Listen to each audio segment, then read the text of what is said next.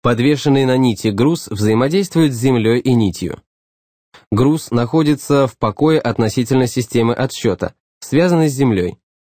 Тело сохраняет состояние покоя, если действия на него других тел скомпенсированы.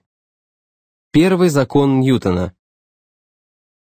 Существуют такие системы отсчета, относительно которых поступательно движущееся тело сохраняет свою скорость постоянной, если на него не действуют другие тела или действие других тел компенсируется.